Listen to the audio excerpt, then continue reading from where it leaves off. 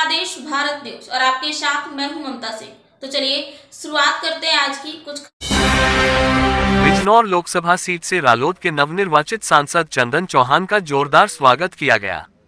आप देख रहे हैं जनादेश भारत न्यूज़ चैनल पर हमारे सहयोगी संवाददाता नीरज पाल की यह लेटेस्ट खबर हिंदी में। चंदन चौहान ने कहा कि वह बाहर के नहीं है, जनता के बीच के हैं। जनता उन्हें हर समय साथ पाएगी। अगले 150 दिन तक वह जनता के द्वार जाने का अभियान चलाएँगे। जहाँ वोट मांगने नहीं जा सके, वहाँ भी लोगों की समस्या जानने जाएँगे और जल्दी ही बिजनौर में सांसद आवास मिलेगा और उसमें सांसद बैठा मिलेगा। दरअसल बिजनौर लोकसभा सीट से राष्ट्रीय लोकदल और भारतीय जनता पार्टी के गठबंधन के प्रत्याशी चंदन चौहान ने लोकसभा चुनाव में जीत हासिल की है। चुनाव जीतने के बाद चंदन चौहान पहली बार बिजनौर पहुँचे और एक निजी बैंकेट हॉल में आयोजित कार्यक्रम में चंदन चौहान का जोरदार स्वागत किया गया।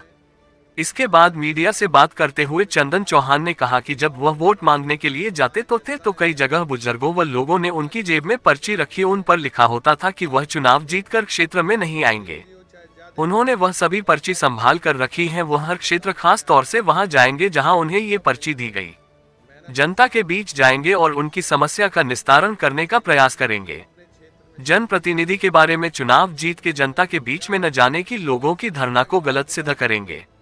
इस दौरान उन्होंने कहा कि सम्मानित लोकसभा की जनता ने राष्ट्रीय लोकदल भाजपा को बहुत सम्मान देने का काम किया।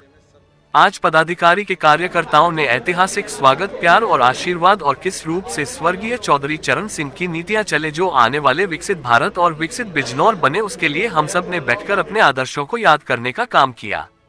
उन्होंने कहा कि सबसे पहले उनके पिता स्वर्गीय संजय सिंह चौहान ने ज़िले में केंद्रीय विद्यालय के लिए प्रयास किया था, अब अपने पिता के सपने को पूरा करेंगे।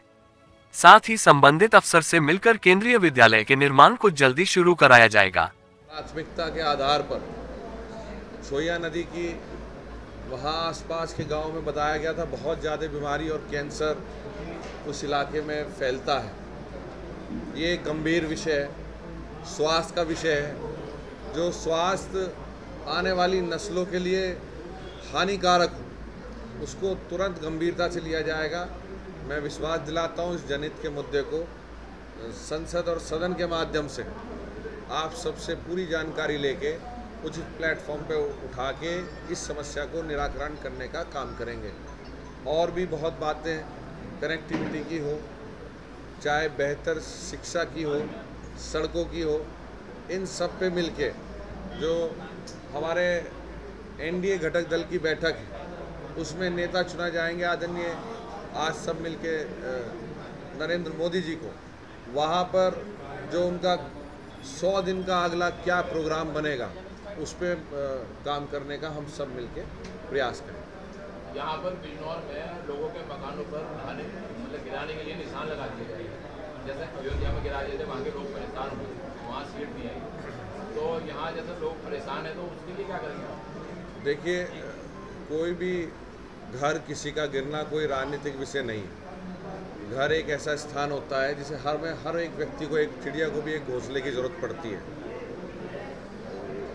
जो आप और कहीं का ज़िक्र करा, वो घर वहाँ मिला, अगर हटाया गया तो दूसरा मिला भी हो। तो ये व्यवस्थाएँ सरकारों की कोई नई नहीं है। अगर कहीं जाता है तो उसकी व्यवस्था पहले करी जाती है। तो अगर ऐसा कोई विषय आप, लोग मुझे, या कोई क्षेत्र का सम्मानित व्यक्ति अवगत कराएगा तो मैं आपके चैनल के माध्यम से बताना चाहता हूँ, किसी भी व्यक्ति का घर टूटने का काम नहीं हो